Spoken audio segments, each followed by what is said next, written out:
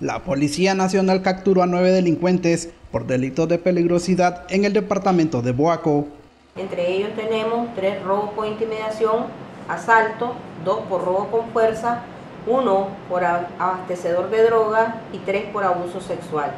En la evidencia ocupada a los delincuentes tenemos una libra de marihuana, un teléfono celular, dos motocicletas, un cuchillo y tenemos tres cascos. Asimismo se dio a conocer la desarticulación de la agrupación delincuencial conocida como Los Vargas, originaria de Managua, autores de los delitos robos con intimidación, asalto y violencia.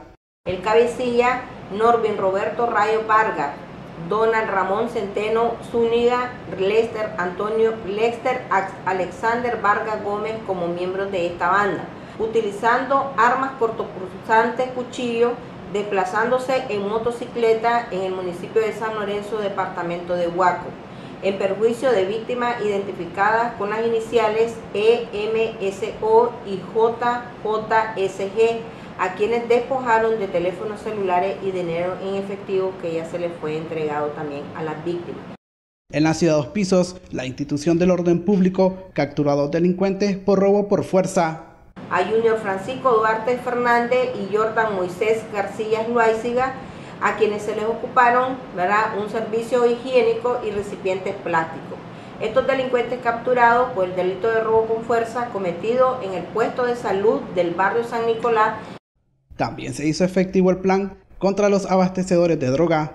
Este es Angel Josué Matu y se la evidencia ocupada de este delincuente una libra de marihuana. Este tipo fue capturado, o este delincuente fue capturado en Teutepe y es abastecedor de droga en el municipio de Camuapa. Investigadores de la Comisaría de la Mujer recepcionaron denuncias de abuso sexual.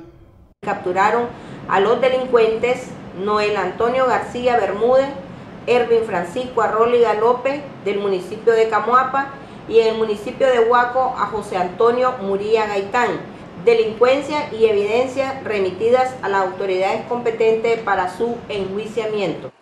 Este informe por la delegación policial de este departamento es del periodo del lunes 16 al 23 de noviembre del año en curso. Desde Boaco, Alexander Acevedo, TV Noticias.